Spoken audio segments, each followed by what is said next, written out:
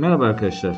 Hayatınızdaki kişi size eğer ki olumsuzluk yaratıyorsa, sürekli sorun yaratıyor ve bundan uzaklaşamıyorsanız, ne kadar gitseniz hep geri dönüyorsanız bu kişiye soğutma işlemi yaparız. Yapacağımız işlem nokta koyduğum yerlere karşı cinsin adını, doğum tarihini, anne ismini yazın ve daha sonra bu kağıdı evinizin etrafında bir yerde yakın.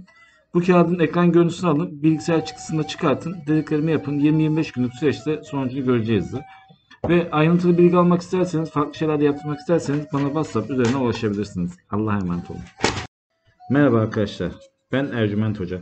Eğer ki birisi delirtme büyüsü yapmışsa, bunu düşünüyorsanız bu kağıdın üzerine adınızı, doğum tarihinizi ve anne isminizi yazın.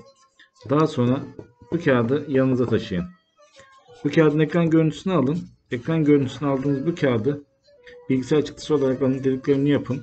Eğer ki dediklerinden sonuç alamazsanız bana WhatsApp üzerinden ulaşabilirsiniz. Size ayrıntılı şekilde bilgi verebilirim. Allah'a emanet olun.